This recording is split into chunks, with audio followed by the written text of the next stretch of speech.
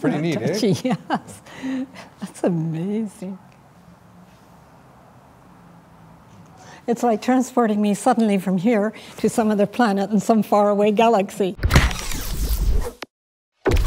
Hi, I'm Jason Legg, I'm Derek Van Ginkel. and we're the creators of East of the Rockies.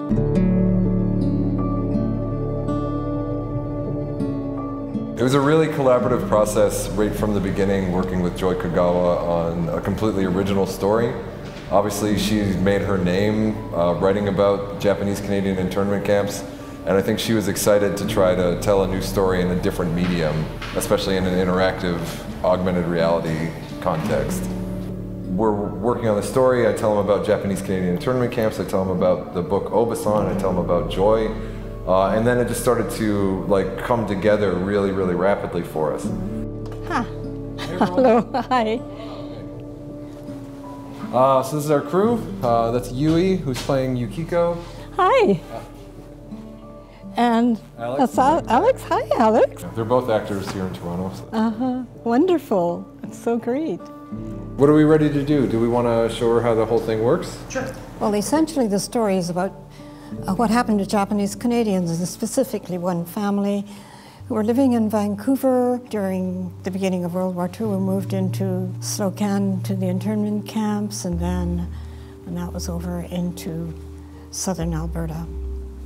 And it's essentially what happened to that family.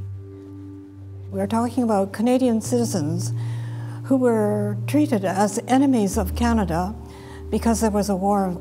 And so we lost sight of the reality of human beings who are identifiable. So this story is able to tell that that we don't necessarily make enemies out of people who are not enemies to start with. Uh, and we can all do that in our different kinds of ways. it's taken on like this kind of like second life and dual meaning as kind of like a way i hope for people to talk about what's happening in the society today and what we have the ability to influence and stand for.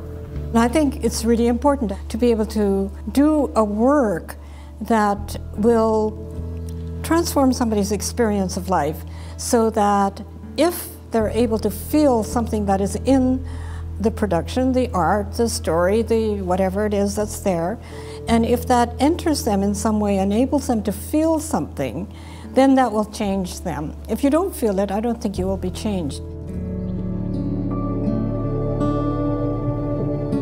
I feel unbelievably lucky, unbelievably blessed to be able to have these connections with youth. Um, what a gift.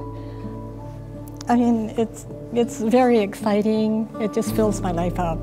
So I'm so happy to be able to do this, to be part of it. We have a choice. And I think this particular technology is not the enemy. Here it is being our friend, guiding us, telling our stories, and uh, connecting us.